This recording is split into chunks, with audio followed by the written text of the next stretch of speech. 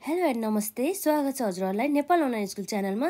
आज हामी BBA second इयरको बिजनेस इकोनोमिक्स अन्तर्गत है च्याप्टर टूको हामी न्युमेरिकल पोर्सन जुन हाम्रो टु मार्क्समा सोधिने प्रश्नहरूको चाहिँ हामी यहाँ सल्भ गर्न जाँदैछौँ है त। जस्तै हामीले यसभन्दा अघिका भिडियोमा यस च्याप्टरसँग सम्बन्धित न्युमेरिकल पोर्सनहरूलाई त कभर गरेको थिएन तर थ्योरिटिकल पोर्सनहरूलाई हामीले लगभग सबै कभर गरिसकेका छौँ है। र जुन रिमेनिङ पार्टहरू छ हाम्रो जुन थ्योरिटिकल पोर्सनको त्यो पनि हामी कभर गर्छौँ है त। आज हामी यहाँ जुन हाम्रो टु मार्क्समा अत्यन्तै इम्पोर्टेन्ट क्वेसनहरू हामी यहाँ गर्न जाँदैछौँ त्यो एकदमै ध्यान दिएर सँगसँगै गर्नु होला है त। र हजुरहरूले यसभन्दा अघिका भिडियो हेर्नु भएको छैन भनेदेखि हेर्नु होला एकदमै इन्फर्मेटिभ रहेको छ है त। र आजको लागि हाम्रो यहाँ रहेको छ क्वेसन नम्बर वान है त। क्वेसन नम्बर वानमा हाम्रो के छ त भन्दाखेरि हाम्रो यहाँ क्वेसनले के निकाल्न सोधिएको छ भन्दाखेरि क्यालकुलेट जिडिपी एट द के छ? Factor cost from the following data भने चाहिँ हामीले यो दिएको डाटा अनुसार चाहिँ हामीले के निकाल्नु पर्ने भयो त? GDP at the factor cost from the following data भन्ने कुरा भएको छ है। र हामीलाई के दिएको छ त क्वेसनमा? GDP at the market price दिएको छ है। र इन्डाइरेक्ट ट्याक्सेस दिएको छ थ्री हन्ड्रेड बिलियन र सब्सिडिज जुन हाम्रो सब्सिडिज भनेर थाहा छ नि है। सब्सिडिज भने चाहिँ जस्तै चाहिँ अब कुनै पनि प्रकारका कन्सेसन अथवा ग्रान्टहरू अथवा डोनेसनहरू अन्तर्गत चाहिँ हामीले सब्सिडिजहरू पर्ने गर्दछ है त? त्यस्ता कुराहरू पर्दछ। र यसरी चाहिँ हाम्रो इन्डाइरेक्ट ट्याक्सेस दिएको छ। इन्डाइरेक्ट ट्याक्सेसबाट चाहिँ हामीले के निकाल्नुपर्ने हुन्छ? जहिले पनि नेट इन्डाइरेक्ट ट्याक्सेस है? र यो नेट इन्डाइरेक्ट ट्याक्सेस हामीले निकालिसकेपछि हामीले के गर्नु के आउँछ त हाम्रो यसमा? GDP at the factor cost आउने गर्छ। कसरी आउँछ भन्दा चाहिँ जिडिपी एट द मार्केट प्राइसबाट हामीले नेट इन्डाइरेक्ट ट्याक्सेस घटायो भनेदेखि के आउने भयो त GDP at the factor cost है? यो फर्मुला चाहिँ हामीलाई थाहा हुनुपर्ने हुन्छ। यसरी फर्मुला थाहा भइसकेपछि हामीले यसरी सल्युसनहरू चाहिँ गर्न सक्छौँ। र अब हामी यहाँ लेख्न सक्छौँ सल्युसन अन्तर्गत। हाम्रो के हुन्छ त यसमा? गिभनमा हाम्रो जुन के छ त हाम्रो यसमा? GDP at market price rupees कति रहेको छ त हाम्रो यसमा? रुपिस टु थाउजन्ड बिलियन रहेको छ। र यसरी अब हामीले के निकाल्न सक्छौँ भन्दाखेरि चाहिँ जसमा हामीले डाइरेक्टै हामीले यहाँ निकाल्नु पर्ने भनेको एउटा नेट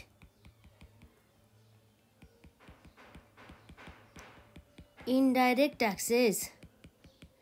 त्यो निकाल्ने चाहिँ कसरी हो भन्दाखेरि इन्डाइरेक्ट ट्याक्सेस माइनस के हो त? सब्सिडिज होइन त। फर्मुला याद हुनु पऱ्यो है हामीलाई। यसरी सब्सिडिजहरू आइसकेपछि इन्डाइरेक्ट ट्याक्सेसमा हाम्रो अमाउन्ट कति रहेको छ त? Three hundred billion rupees rupees three hundred billion छ है यसमा।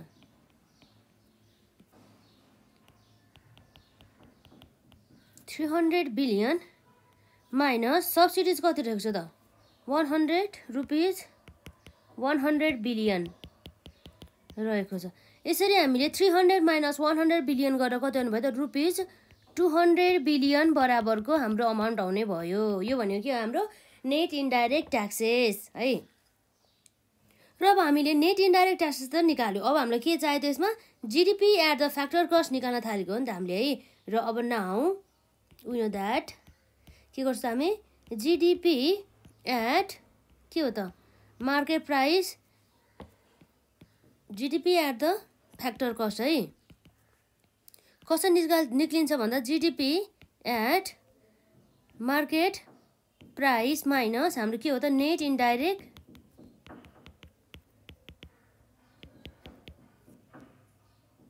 taxes. GDP at the market price हाम्रो कति छ त? हाम्रो क्वेसनमा दिएको two thousand billion rupees rupees two thousand billion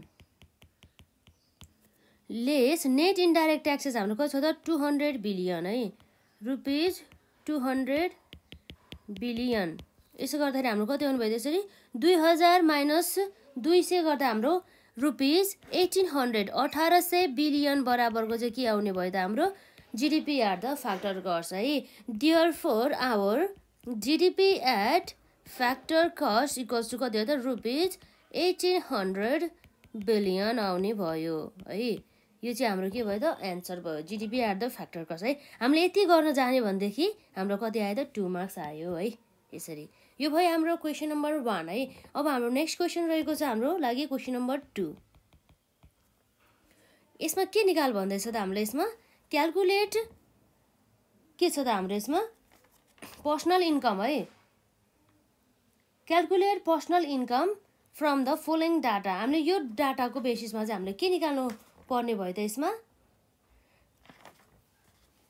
PI निकाल्नु पर्ने भयो अर्थात् हामीलाई के हो त पर्सनल इन्कम है एउटा व्यक्तिगत इन्कम चाहिँ कसरी निकाल्ने त व्यक्तिगत आय भन्ने कुरा चाहिँ यहाँ रहेको छ है जसको लागि हामीलाई मेन यसमा पनि हामीलाई थाहा हुनुपर्ने भनेको के हो त यसमा पनि हामीलाई फर्मुलै थाहा हुनुपर्ने हो है? यसमा चाहिँ अब हाम्रो फर्मुला रहेको छ न सल्युसनमा पिआई भनेर। यो फर्मुला चाहिँ याद गर्नु होला है हजुरहरूले। जस्तै हाम्रो पुरै नेसनल इन्कम हुन्छ जसलाई हामी एनआई भन्छौँ माइनस के छ हाम्रो यसमा? कोर्पोरेट ट्याक्स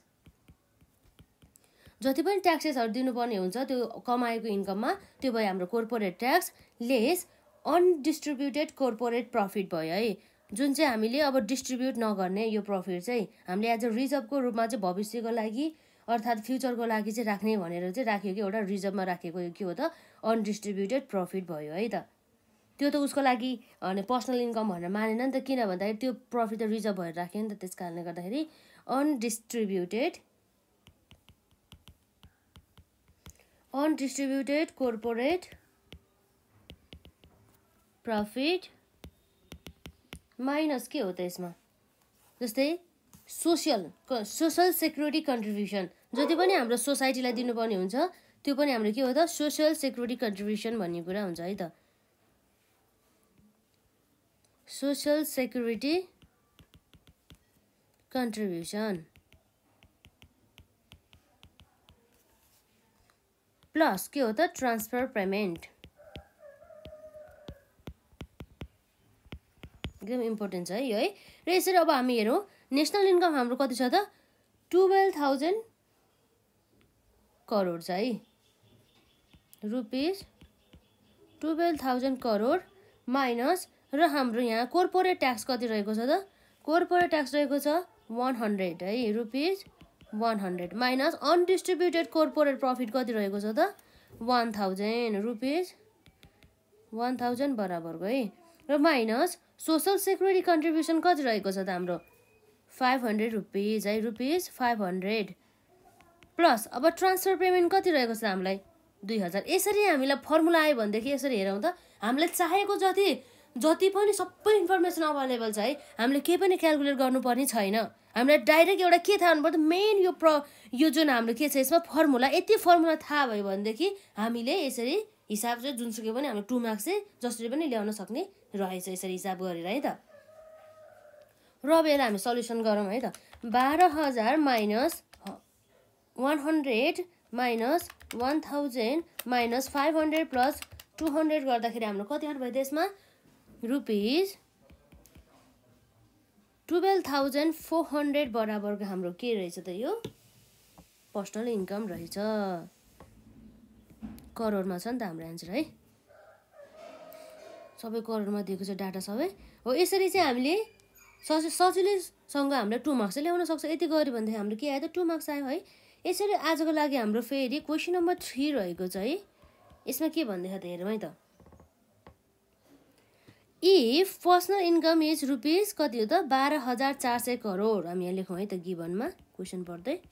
कति छ त personal income PI equals to rupees बाह्र हजार चार सय करोड। र पर्सनल ट्याक्सेस त्यसलाई के भन्छ डाइरेक्ट ट्याक्सेस आर रुपिस कति छ त हाम्रो पन्ध्र सय करोड रहेछ है त।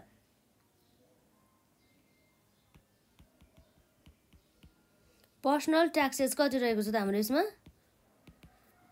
रुपिज पन्ध्र सय करोड। र total consumption expenditure of the private sector is rupees ten thousand. कति रहेछ त? प्राइभेट सेक्टरको चाहिँ कन्जम्सन चाहिँ दस हजार बराबरको रहेछ जसलाई हामी कन्जम्सन मात्रै भन्दा नि हुन्छ है त अहिले। रुपिज दस हजार करोड। र चाहिँ अर्को रहेको छ find disposable income and the personal saving है। डिस्पोजेबल इन्कम भने त हामीलाई नर्मली थाहा नै छ। डिस्पोजेबल इन्कम भनेको यस्तो इन्कम हो जसमा चाहिँ के हुन्छ त सेभिङ प्लस हाम्रो कन्जम्सन गऱ्यो भने पनि डिस्पोजेबल इन्कम आउँछ।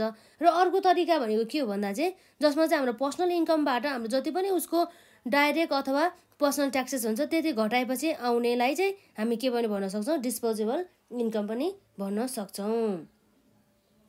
र विशेष गरी हाम्रो पर्सनल सेभिङ भनेको त जति पनि हाम्रो डिस्पोजल इन्कम थियो डिस्पोजल इन्कमबाट हामीले कन्जम्सन गरेर घटाइसकेपछि हाम्रो के आउने भयो त यसरी? पर्सनल सेभिङ चाहिँ आउने भयो। र अब हामी यहाँ हेर्न जान्छौँ। हाम्रो यहाँ रहेको छ सुरुमा के छ त? निकाल्नु पर्ने भनेको डिस्पोजेबल इन्कम है त।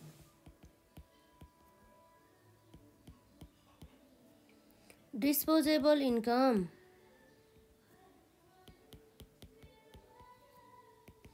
डिस्पोजेबल इन्कम कसरी आउँछ त? पर्सनल इन्कमबाट हामीले पर्सनल ट्याक्सेसहरू घटायो भनेदेखि है त। पर्सनल ट्याक्सेसहरू है। र पर्सनल इन्कम हाम्रो कति छ त? बाह्र हजार चार सय करोड रुपिज बाह्र हजार चार सय करोड है। माइनस पर्सनल ट्याक्सेस रहेको छ हाम्रो पन्ध्र सय करोड रुपिज कति छ त? पन्ध्र सय करोड भनेपछि बाह्र हजार चार सय माइनस पन्ध्र सय गर्दाखेरि हाम्रो कति हुनुभयो त्यसमा? रुपिज दस हजार नौ सय करोड। यसरी आउने भयो है। यो भयो हाम्रो के हो त? डिस्पोजेबल इन्कम र यसपछि अब हामीलाई अर्को निकाल भनेको छ क्वेसनमा पर्सनल सेभिङ हाम्रो चाहिँ सेभिङ चाहिँ कति गरेको छ त? कमाएको मध्ये हामीले केही पोर्सन चाहिँ केही पोर्सन चाहिँ अब कन्जम्सन अथवा युज गरिसकेपछि अब सेभिङ त हुनसक्छ नि त होइन? हो त्यो कुरा भयो यसमा। पर्सनल सेभिङमा हाम्रो के आउने भयो त? डिस्पोजेबल इन्कम माइनस कन्जम्सन है।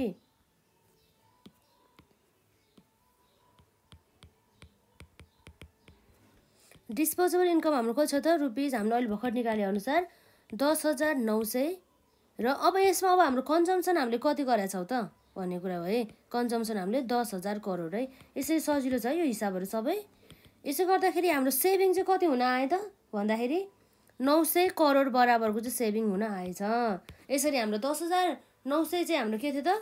डिस्पोजेबल इन्कम यस्तो इन्कम जसमा चाहिँ हामीले ट्याक्स अलरेडी जुन व्यक्तिगत ट्याक्स ट्याक्सेसहरू हुन्छ व्यक्तिगत करहरू हुन्छ त्यो तिरिसकेपछि चाहिँ हाम्रो के आउनु भयो त? प त्यसमा डिस्पोजेबल इन्कम आउने भयो। तर डिस्पोजेबल इन्कमबाट पनि हामीले केही पोर्सन जति पनि हामीले कन्जम्सन गर्छौँ नि युज गर्छौँ नि है त्यो घटाइसकेपछि हामीले के आउनु भयो त सेभिङ्सको कुरा आउनु भयो यदि यदि हाम्रो यदि कन्सेप्ट थाहा भयो भनेदेखि हामीले यस्ता क्वेसनहरू चाहिँ सहजै सह सल्भ पनि गर्न सक्छौँ।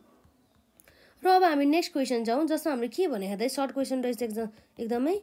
यो हाम्रो आजको लागि क्वेसन नम्बर फोर है त।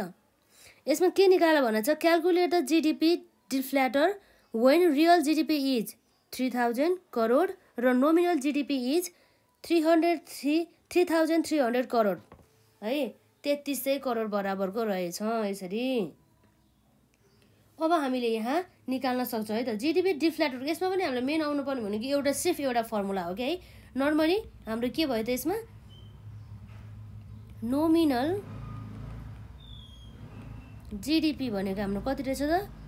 Rupees three thousand three hundred crore है। र यसपछि अरू हामीलाई के दिएको छ त?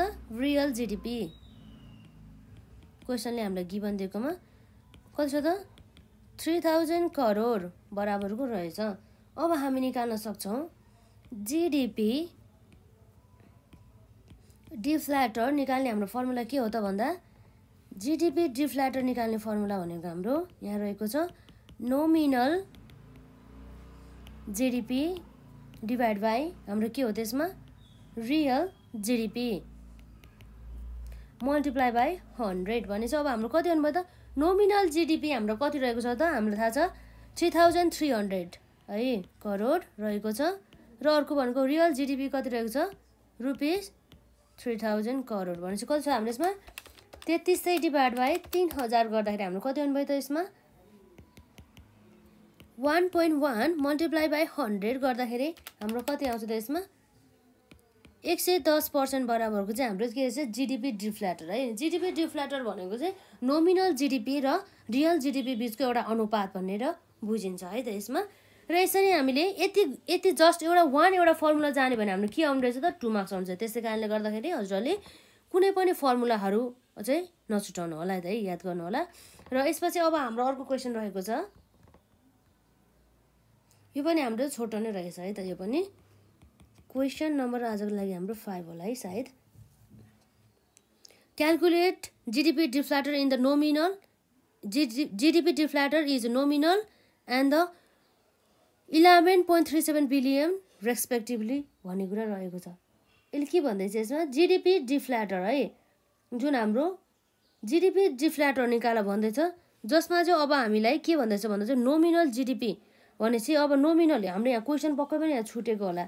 यसले भन्न खोजेको चाहिँ के होला भन्दाखेरि यसको अनुसार चाहिँ नोमिनल जिडिपी है नोमिनल जिडिपी हाम्रो कति हुनसक्छ त?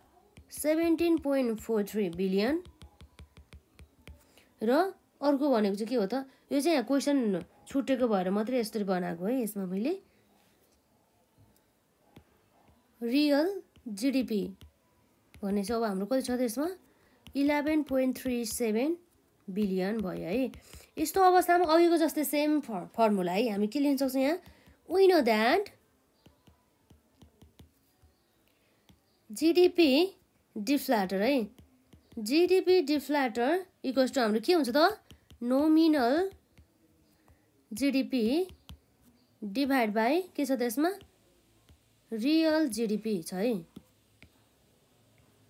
डिभाइड बाई रियल जिडिपी रहेको छ। मल्टिप्लाई बाई हन्ड्रेड भनेपछि नोमिनल जिडिपी कति छ त हाम्रो यसमा? Seventeen point four three billion र रियल जिडिपी भनेको चाहिँ हाम्रो कति छ त? Rupees eleven point three seven billion यसरी हामीले seventeen point four three divide by eleven point three seven गर्दाखेरि हाम्रो कति आउनु भयो त यसमा?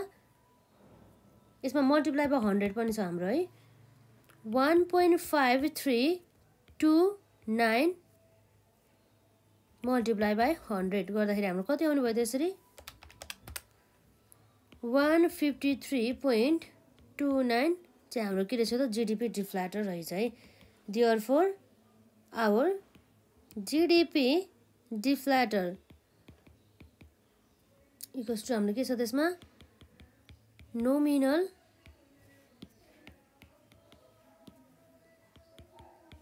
निकालिसक्यो नि त है फर्मुला निकाल्नु त परेन नि त।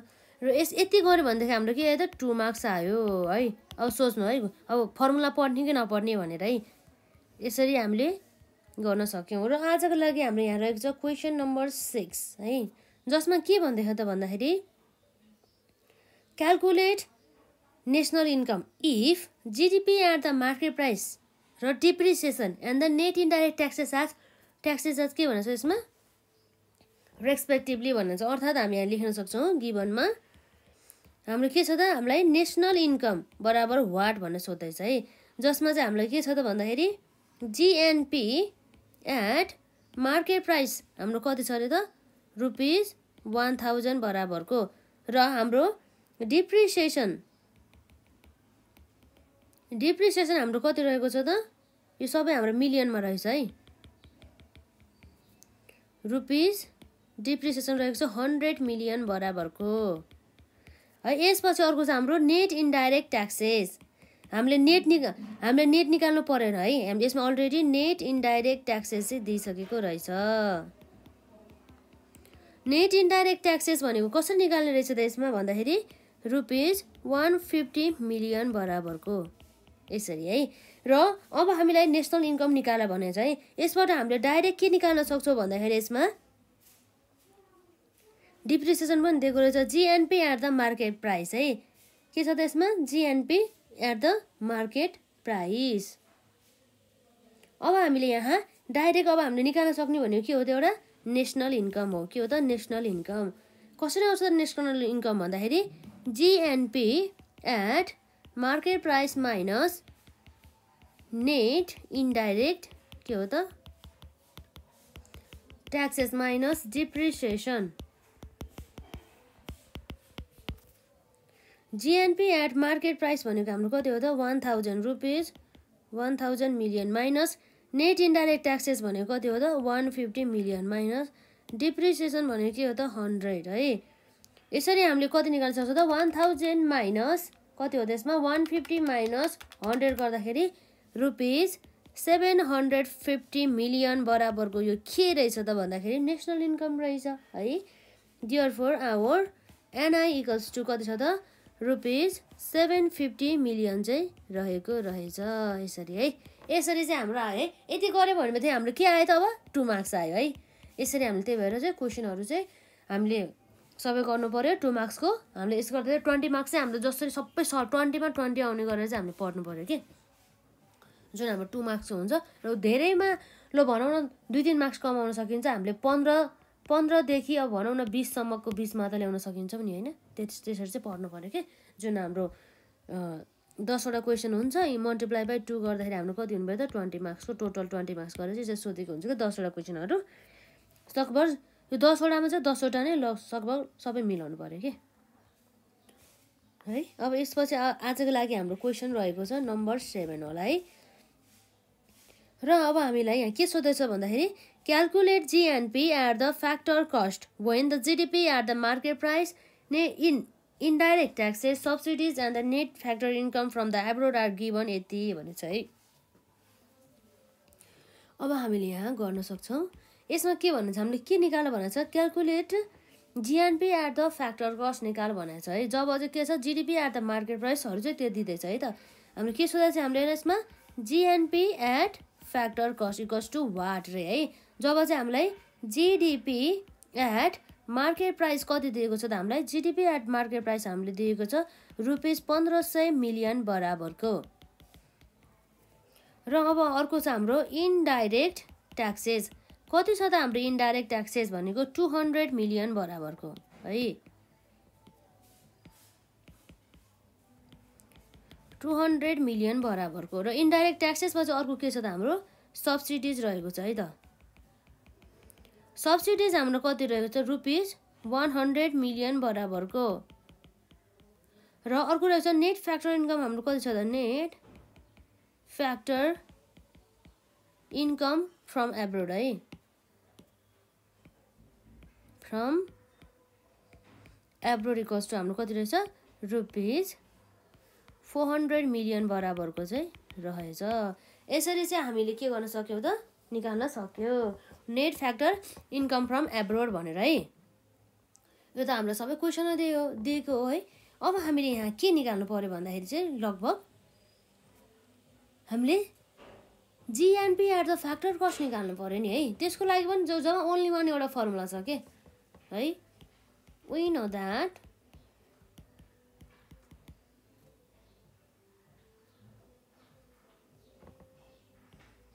जिएनपी एट के हो त? फ्याक्टर कस्ट भन्दैछ है। GNP at the factor cost निकाल्नु लागि हामी के गर्नुपर्छ त? GDP at market price minus यसको एउटा ओन्ली वान सल्युसन भन्ने के भन्दाखेरि फर्मुला के? हामीलाई यो फर्मुलाहरू सबै हामीलाई थाहा भयो भनेदेखि एक एक स्टेप के गर्यो भने के हुन्छ भनेर सब थाहा भयो भनेदेखि हामीलाई के आउने भयो त? मजाले सबै स सल्युसनहरू गर्न आउँछ नि त। मेन यसमा मेन जड भनेको नि फर्मुला हो कि? फर्मुला नआइकन यहाँ केही हुनेवाला छैन। फ्याक्टर इन्कम फ्रम के हो त? एब्रोड अब हाम्रो GDP at the market price कति रहेको छ त? पन्ध्र सय मिलियन बराबरको है। रुपिस पन्ध्र सय मिलियन बराबरको। र इन्डाइरेक्ट ट्याक्सेस हाम्रो कति रहेको छ? टु हन्ड्रेड मिलियन बराबरको है। रुपिस कति छ त? टु हन्ड्रेड मिलियन चाहिँ मैले यहाँ लेखिनँ। माइनस सब्सिडिज कति छ त? हन्ड्रेड मिलियन बराबरको है त। र plus net factor income from abroad हाम्रो कति रहेको छ त यसमा? चार सय मिलियन है रुपिस फोर हन्ड्रेड मिलियन बराबरको रहेछ है। यसरी हामीले यहाँ हेर्न सक्छौँ रुपिस पन्ध्र सय माइनस दुई सय माइनस एक सय गर्दाखेरि कति आउँछ त? रुपिस सय आउँछ है। प्लस रुपिस फोर हन्ड्रेड कति छ त मिलियन आयो है। र पन्ध्र सय माइनस सय गर्दाखेरि हाम्रो कति आयो त चौध सय है। चौध सय प्लस चार सय गर्दाखेरि हाम्रो कति आयो त रुपिस अठार सय मिलियन बराबरको चाहिँ आयो के हो त? GNP at the factor cost है। Therefore GNP at factor cost equals to rupees अठार सय मिलियन आयो। यसरी चाहिँ हामीले गर्न सक्छौँ है। एकदमै इम्पोर्टेन्ट छ है? यो यो अब मेनको जड भनेको के हो भन्दाखेरि यही हो फर्मुला फर्मुला आउनु पऱ्यो त्यसपछि हामीले जे पनि गर्न सक्छौँ है? त्यसपछि त मैले पनि भन्नु पर्दैन होला नि होइन? यसमा? र अब हामी यहाँ हेर्छौँ यसमा के सोधेको छ त हामीलाई भन्दा सिक्सटीमा है त? क्वेसन नम्बर हाम्रो के छ त यो? एट होला सायद है? यो नम्बरमा मिस्टेक भयो भने पनि केही पनि भएन है? र अब हामीलाई क्वेसनले के भन्दैछ भन्दा चाहिँ calculate GNP at the factor cost when the GDP at the market price indirect taxes subsidies and the net factor income from the abroad are given कति त रुपिस पन्ध्र सय मिलियन बराबरको दुई सय र हज सय र चार सय मिलियन गरिरहेको छ है अब यसमा अब हामीले के गर्न सक्छौँ भन्दा चाहिँ सल्युसनमा रहेको छ। हामीलाई सोधेको भनेको के हो? त यसमा जिएनपी एट फ्याक्टर कस्ट है? कति रहेको छ त? सोधेको छ यही सोधेको हो हामीलाई? र गिभनमा हामीले के छ भन्दाखेरि जिडिपी ठ्याक्कै अघिको जस्तै भयो है? यसमा पनि हो। अघिको क्वेसन हो कि क्या हो यसमा है? यो। सेम क्वेसन है मैले गरेन है? यो। सेम क्वेसन हो यो डबल भएछ। यसमा एउटै क्वेसन यो पनि ठ्याक्कै डबलै भएछ है? क्वेसन सबै डबल भएछ यसमा। र अर्को हाम्रो यहाँ क्वेसन नम्बर सिक्सटी वान रहेछ है। क्वेसन नम्बर सिक्सटी वानले अब हामीलाई के के सोधाएको छ यो क्वेसन पनि हाम्रो कम्प्लिट छैन है यसमा। यो क्वेसन कम्प्लिट छैन है? र आजले चाहिँ हामी यति गर्छौँ र नेक्स्ट भिडियोमा चाहिँ हामी यससँगै सम्बन्धित जुन हाम्रो त्यो जुन अघि भर्खर हामीले त्यो सिक्सटी वानको क्वेसन देखेको नि हो त्यो त हाम्रो टेन मार्क्सको रहेछ। र आजको लागि चाहिँ हामीले सबै सम्पूर्ण टु मार्क्सको क्वेसनहरू चाहिँ सोधिने चाहिँ सक्यो। र यदि हजुरहरूलाई यसै च्याप्टरसँग सम्बन्धित यस्तै क्वेसनहरूमा यदि कन्फ्युजन छ भनेदेखि यदि होइन फर्मुला कसरी आयो भन्ने कुरामा के कन्फ्युजन छ भनेदेखि कमेन्ट सेक्सनमा राख्न सक्नुहुनेछ। र आजलाई चाहिँ हामी यति नै गर्छौँ है त।